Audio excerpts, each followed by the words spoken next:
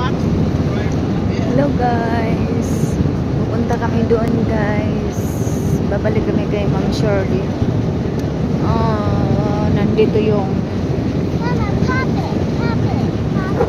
kasama namin si Chloe.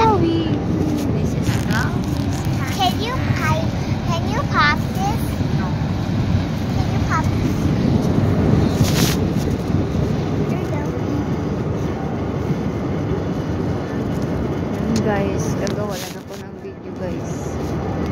Yan lang.